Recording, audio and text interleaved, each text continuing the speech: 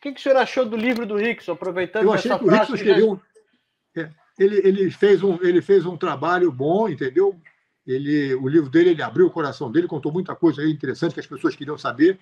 Mas ele foi infeliz num, num comentáriozinho que ele falou que eu não paguei ao Royce, que não é verdade. Eu paguei ao Royce. Depois do UFC 1 e UFC 2, eu não paguei ao Royce. Por isso que ele não recebeu, não sei o que. Isso não é verdade.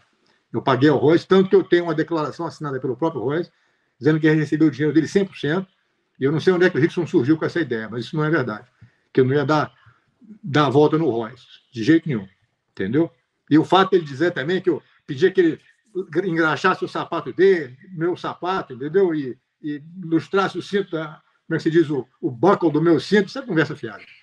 Naquele verão no Rio de Janeiro, eu, queria, eu pedi muito que ele fosse buscar água gelada para mim, com água com gelo dentro. Isso ele fez muito, realmente.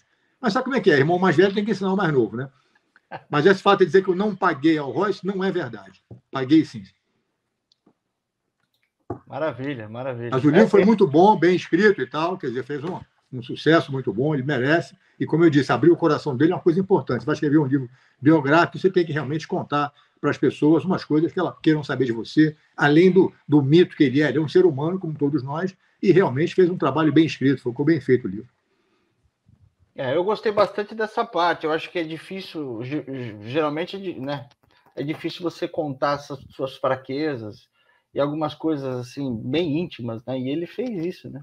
É, ele eu fez. Acho... É. O livro é. foi bem escrito. Fora esse, essa tropeçada dele, o resto foi ótimo.